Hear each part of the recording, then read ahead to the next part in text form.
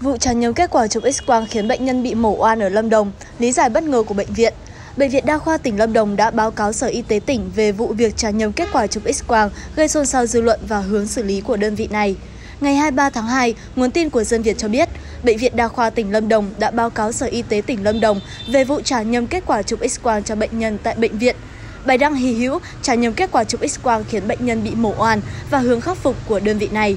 Cụ thể, theo Bệnh viện Đa khoa tỉnh Lâm Đồng, sáng ngày 20 tháng 2, có hai trường hợp đến khám bệnh tại bệnh viện này gồm ông Nguyễn Trọng Nghĩa, 52 tuổi, và ông Nguyễn Hồng Hải, 61 tuổi, có tiền sử phẫu thuật lấy sỏi san hô thận cách đây khoảng 17 năm tại thành phố Hồ Chí Minh. Cả hai người này đều được bác sĩ khám bệnh chỉ định chụp X-quang hệ niệu không chuẩn bị.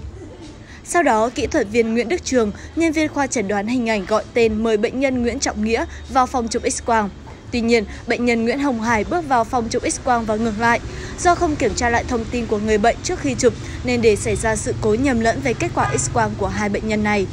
Sau khi có kết quả chụp X-quang, bác sĩ Dương Xuân Kỳ, bác sĩ điều trị khoa ngoại tổng hợp đã khám và hỏi tiền sử bệnh của bệnh nhân Nguyễn Hồng Hải. Bác sĩ Dương Xuân Kỳ tư vấn bệnh nhân còn ống nhựa trong niệu quản nên cần nội soi bàng quang chẩn đoán và rút ống nhựa trên qua đường nội soi bàng quang.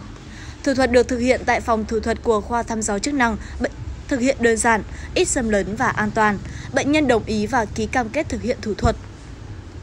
Tuy nhiên, khi tiến hành nội soi bàng quang, bác sĩ Dương Xuân Kỳ tìm không thấy ống nhựa, nghi ngờ có sự cố nhầm lẫn đã báo cáo với lãnh đạo khoa và trực tiếp dẫn bệnh nhân đến khoa chẩn đoán hình ảnh, chụp lại phim X-quang thì phát hiện không có hình ảnh ống nhựa trong niệu quản.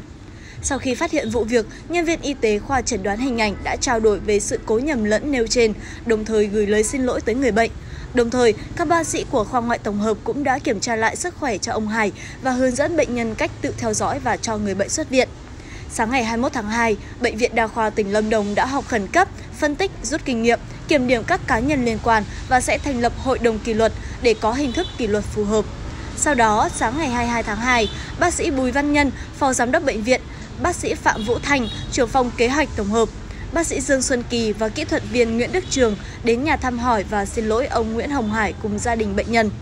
Riêng đối với bệnh nhân Nguyễn Trọng Nghĩa, người thực sự có ống nhựa trong niệu quản, bác sĩ Dương Xuân Kỳ đã mời bệnh nhân vào khám, tư vấn và rút ống nhựa trong niệu quản cho bệnh nhân. Sau khi được xử lý, tình trạng sức khỏe ông Nghĩa đã ổn định, đủ điều kiện và được cho xuất viện.